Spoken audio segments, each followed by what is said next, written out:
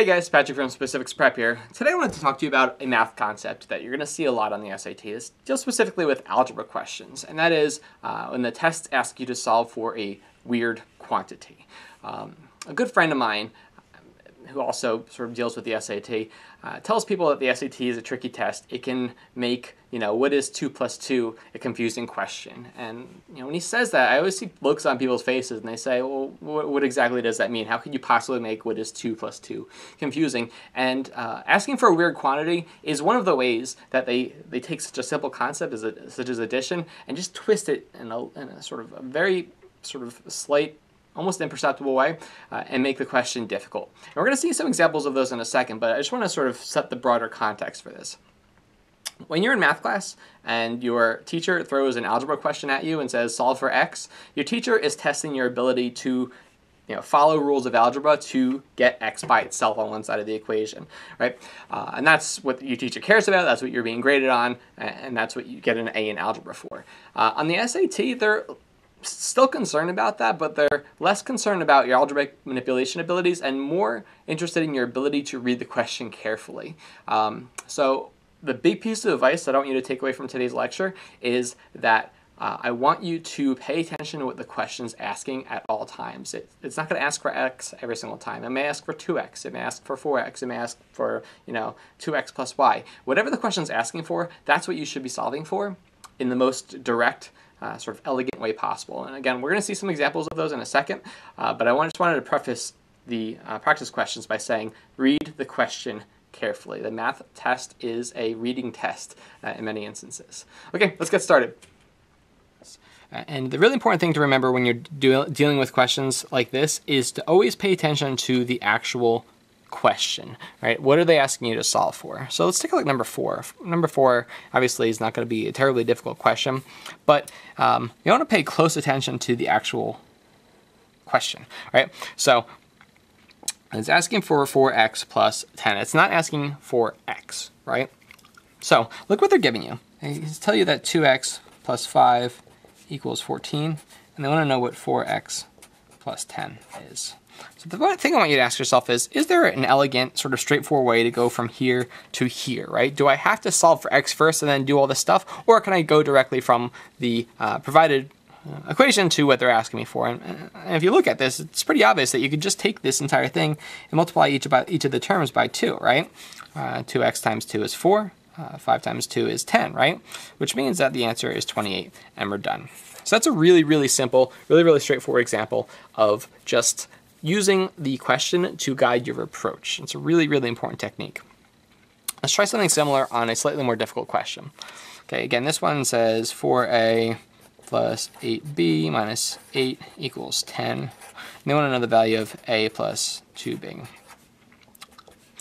And again, a lot of students will look at this and say, oh, I have two unknowns, right? I have an a and a b. Uh, therefore, I need two equations. And that is generally very true uh, if the question asks for the value of A uh, and the value of B, right? If they want to know the value of each one individually, then yes, you do need two equations. But this question is not asking for A and it's not asking for B, right? It's asking for A plus 2B. So again, it's really important to shut down a portion of your brain that forces you to approach these questions exactly like a school question and just answer the question that's being asked.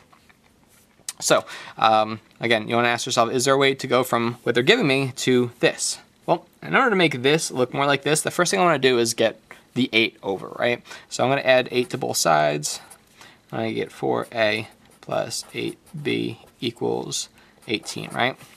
Now, to go from 4a plus 8b to a plus 2b, I can divide this by 4, right? And again, I have to do it to both sides of the equation. So uh, 4a divided by 4 is a, perfect. Uh, 8b divided by 4 is 2, perfect, right?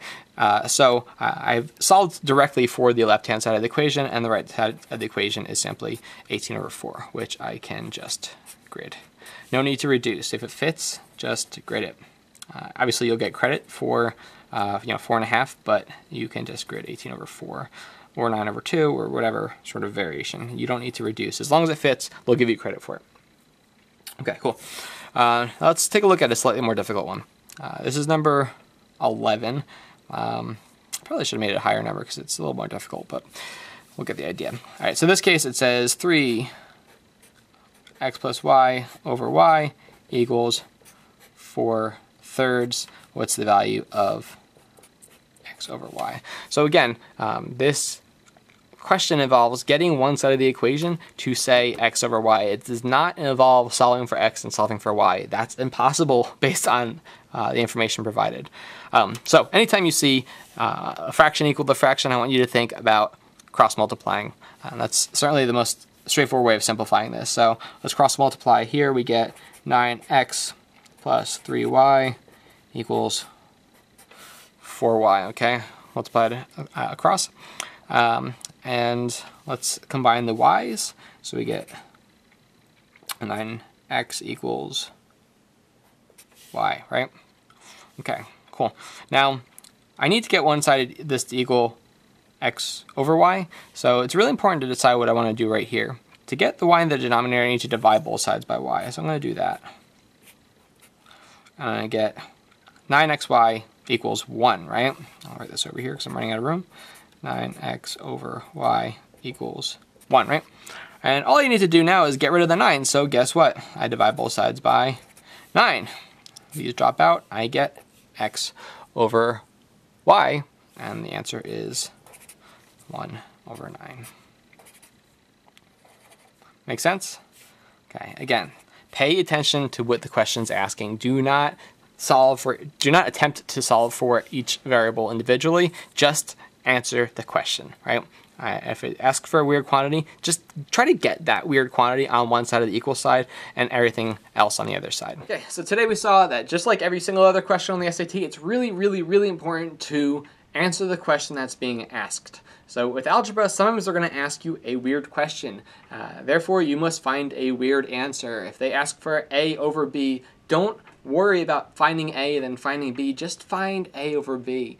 Um, always pay attention to what the question's asking and try to shut off that portion of your brain that says, I need to approach this the way I would approach uh, a math question in school. Uh, it's a much, much different animal. Okay? All right, so see you guys in a few weeks. We'll do some more math questions. Bye-bye.